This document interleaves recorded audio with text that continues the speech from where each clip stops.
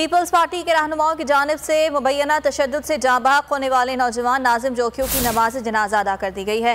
नाजिम जोखियों के लवाहकिन ने national highway पर एहतजाज शुरू कर दिया है। वहाँ पर सूरत हाल क्या है जानेंगे। बोल न्यूज़ के नुमाइंदे शाहरुख शाह से, जो इस वक्त नेशनल हाईवे पर मौजूद हैं। शाहरुख, बताइएगा लवाहकिन क्या मुतालबा कर रहे हैं? जी, बिल्कुल देखिए, ये नाजिम जोक्यो जिसको टट्टा में जो है वो कत्ल कर दिया गया था जिसके भाई ने जो है मकसूल के भाई ने ये इल्ज़ाम आयद किया था कि पीपल्स पार्टी के जो रहनुमा है अवैस जाम जाम अवैस, उनकी जानब से जो है वो ये वीडियो वायरल करने पे उसको कत्ल किया गया।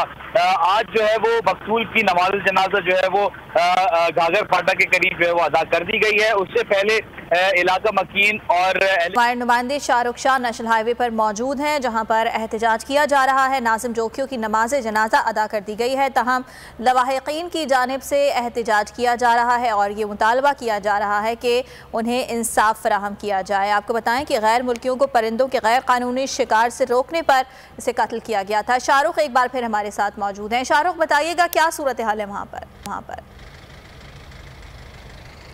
जी बिल्कुल देखें इस वक्त जो है वो दोबारा से एक बार फिर जो मकतूल निज़ाम जोक्यू है उसको कत्ल कर दिया गया था, जिसका इल्ज़ाम जो है वो उनके भाइयों ने और उसके, उससे एक दिन कबल, कत्ल होने से पहले एक दिन कबल एक वीडियो वायरल हुई थी जिसमें उसने बताया था कि जाम अवैस और उनके दीगर जो साथी हैं, पीपल्स पार्टी से उनका ताल्लुक है रुकने रुकने असम्बली हैं ठट्टा से जाम अवैस, उनकी जान इल्ज़ाम आयद किया था कि उनके मौत के ज़िम्मेदार जो है वो वो होंगे।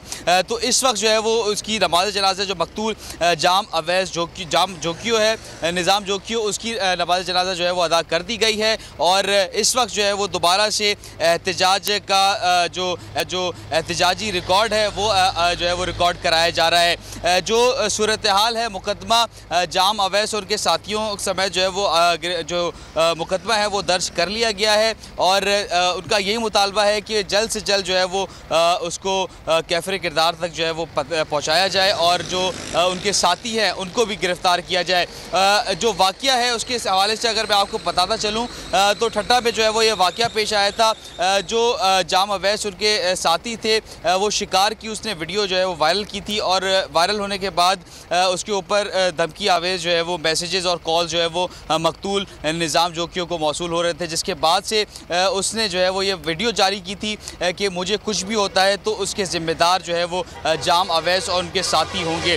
जबकि जो बताया जा रहा है भाई, उसके मकतूल के भाई ने जो है वो इल्ज़ाम आयद किया है कि अब्दुल करीम जो कि मलिर से रुकन असम्बली है उनके जो है, उन, उसको इल्ज़ाम आयद करते हुए कहा है कि उनकी जानब से जो है वो उनको जाम अवैस हाउस में बुलाया गया और उनको तशद का निशाना बनाया गया। और जो पोस्टमार्टम रिपोर्ट है उस पर भी तशद के जो है वो निशानात जो है वो पोस्टमार्टम की रिपोर्ट में आए हैं। और बताया गया है कि कि तशद के बायस जो है वो ये इनकी हलाकत जो है वो हुई है। और घर वालों का यही मुतालबा है कि जाम अवैश और शाहरुख इस बारे में आप कर रहे हैं कि इस वक्त एहतजाज किया जा रहा है लवाहकीन इंसाफ का मुतालबा कर रहे हैं जबकि नाजिम जोखियों की नमाज़ जनाजा अदा कर दी गई है। वाक़े का मुकदमा भी दर्ज कर लिया गया है।